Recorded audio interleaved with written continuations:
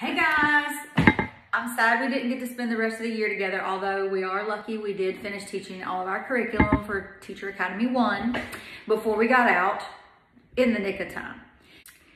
I'm gonna go over a few things you can do this summer to help you be ready for the fall. One major thing that um, we work on is learning how to appreciate diverse learners.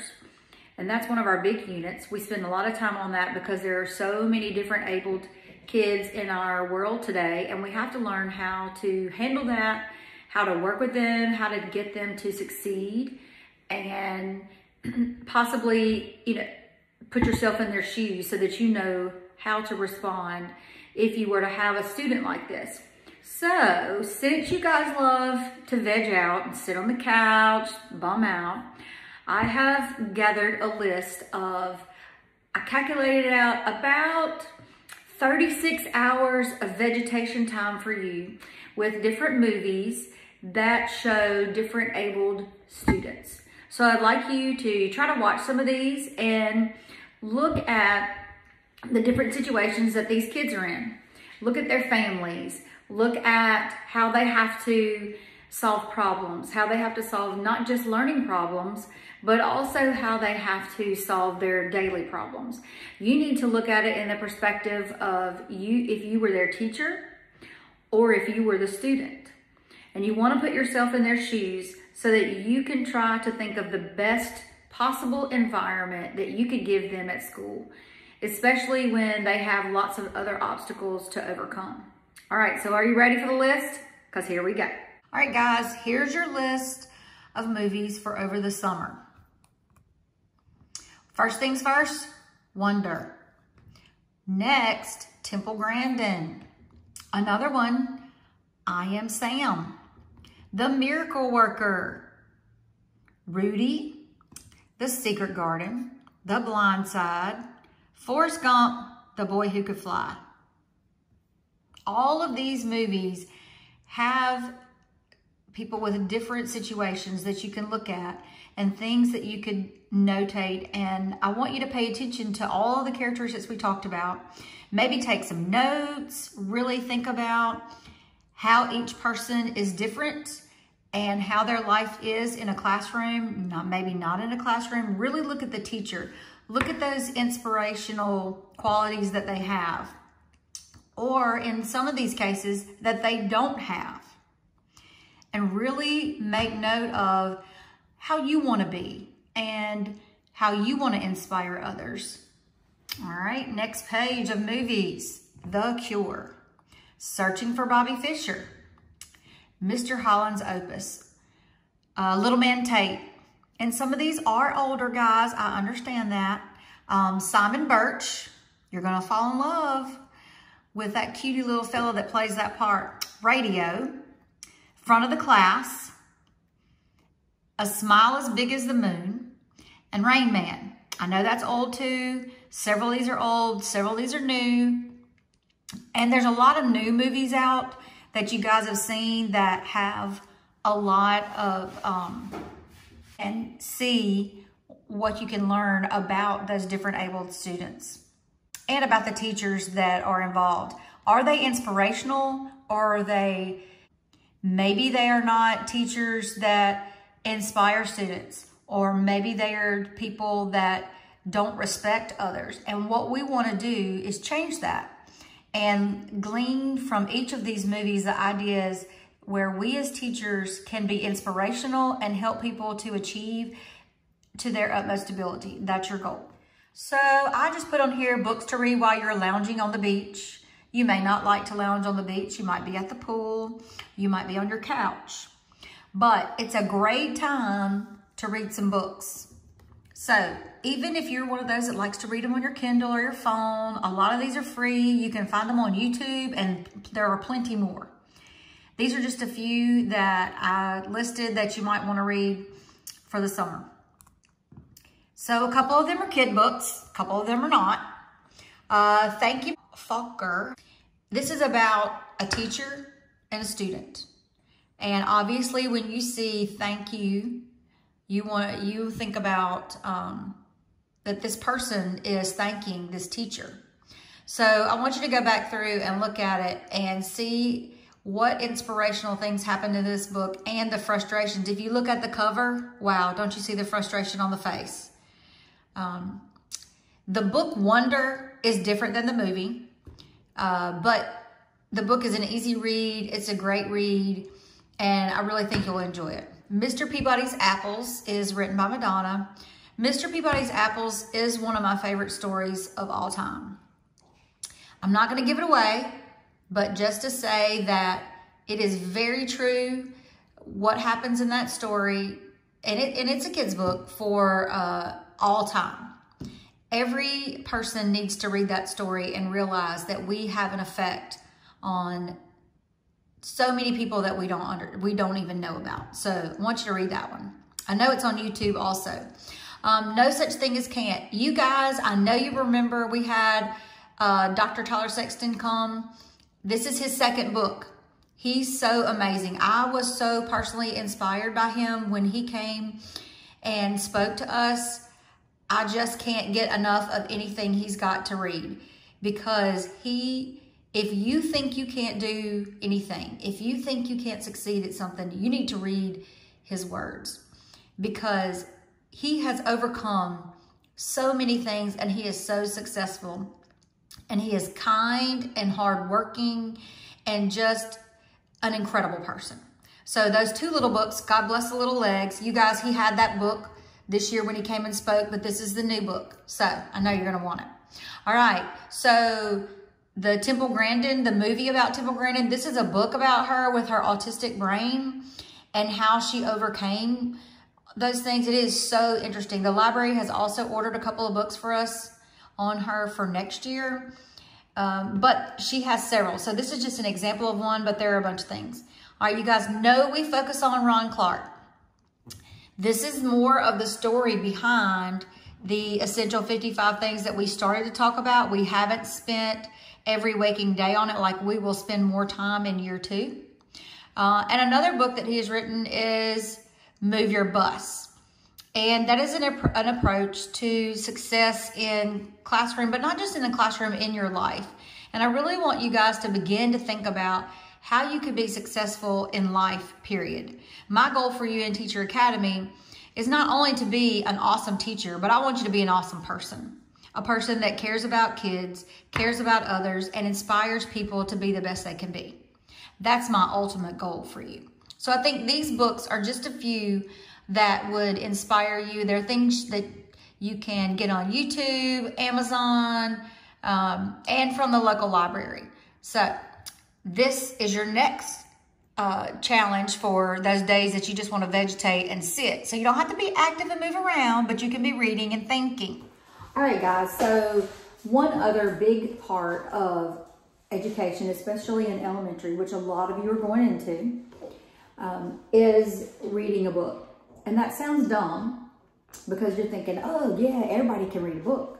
Well, it is very important to read the book with vocal intonation.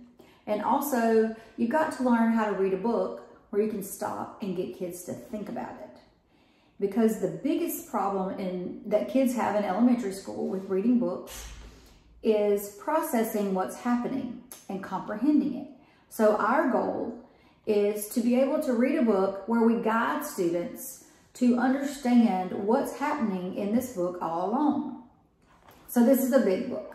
I like this book because it has a lot of imagination, a lot of places for imagination and for you to drag it out of everybody. I know everybody's not going into elementary school and that is fine.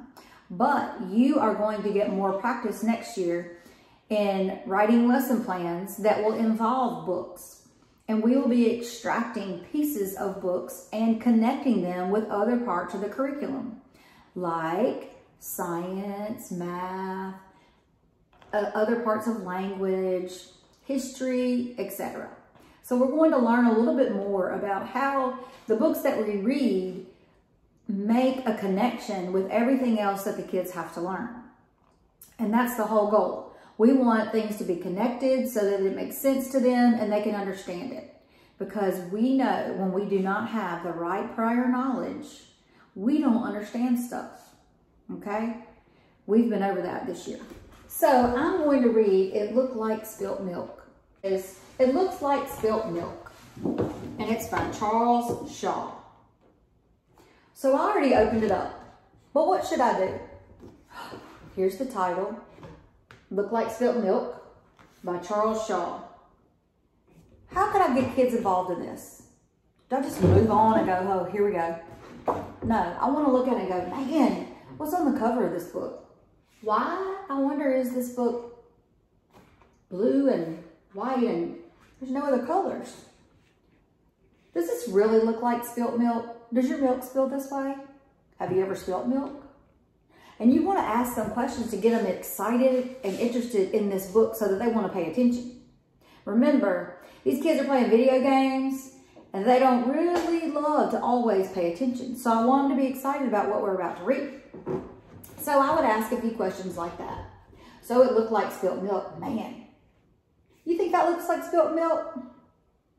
I don't think so. When I've spilled milk, it's not that perfect. What do we think that is? What's this? Have you ever spilt milk? You see how I want to get them involved and going. All right. So I would turn my page, and that's the cover and the title page. And when they're really, really young, like the kids we've worked at with at Head Start, you've got to teach them all these things because they don't just wake up knowing that that's the cover of the book and that this is a title page and that this is an author. We have to teach them and teach them to look for it. Sometimes it looked like spilt milk, but it wasn't spilt milk.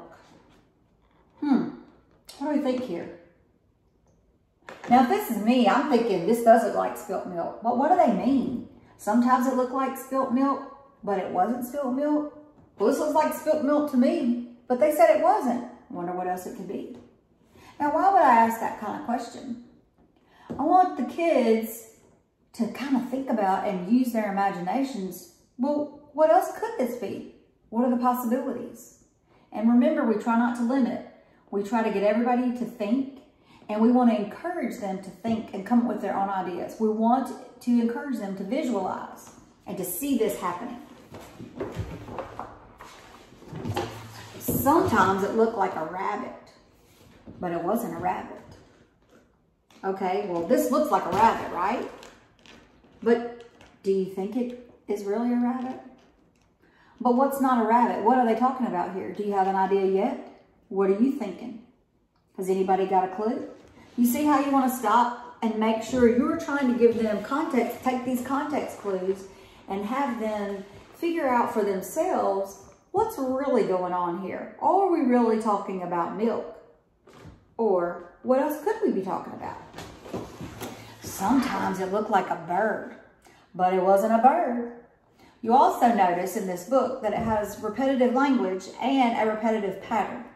I would definitely want to use this book with younger kids because of the repetitive patterns. Repetitive patterns, as we know by research, teaches kids how to uh, understand words, sentence structure, and it helps them read because they can know from memory what each word is. And then as we point to it and we read it over and over, they will eventually associate by vi visual uh, cues and auditory cues that this word is sometimes. So the next time I see it, even though it's a really big word for me, I'm going to know that sometimes because I know what it looks like and I've read it over and over and over. That's more of the principle of, remember we talked about the readers Dick and Jane. That's a principle of a Dick and Jane reader. So this is the same way. All right. Sometimes it looked like a tree, but it wasn't a tree. Do you have a clue yet what it is? Are you figuring out that it's clouds? Do you have that clue yet? Sometimes you'll have kids that'll already know. Sometimes you'll have kids that won't. But you want to help them get out there and think, hmm, when have I seen things and imagine things that look like something else? Where was I? Was I inside?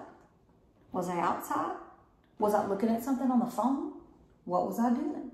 Give them some clues to get there.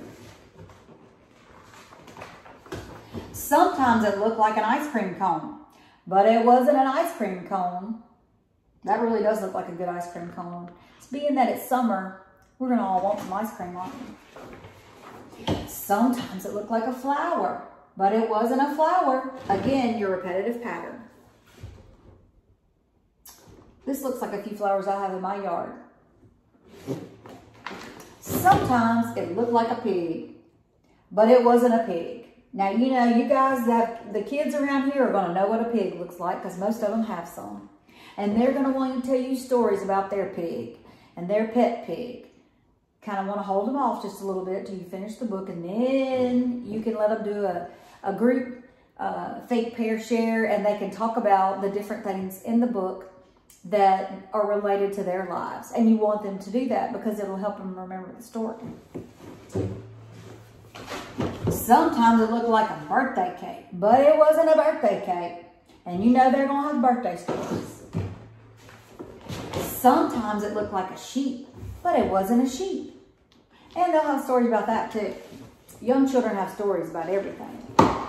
Sometimes, sometimes it looked like a great horned owl, but it wasn't a great horned owl. And a lot of kids may not have experiences with a great horned owl, so you definitely want to later share with them some other pictures of what a great horned owl looks like because they may or may not have the prior knowledge to understand that.